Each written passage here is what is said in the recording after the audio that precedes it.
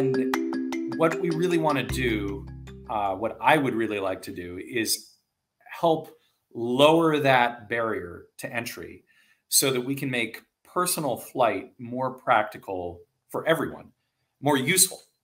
And uh, that that was the original founding vision of of Terrafugia. Uh, and reason that businesses fail is because they run out of money. That seems obvious. The number two reason that they run out of money, or the number one reason they run out of money, is because there's no market uh, for their product or service. So, or i.e., put simply, what we are really trying to focus on is giving people easy access to be able to do that and look for those markers at home. Um, and employers are, are, are a great place to start, which is where we've begun and put a lot of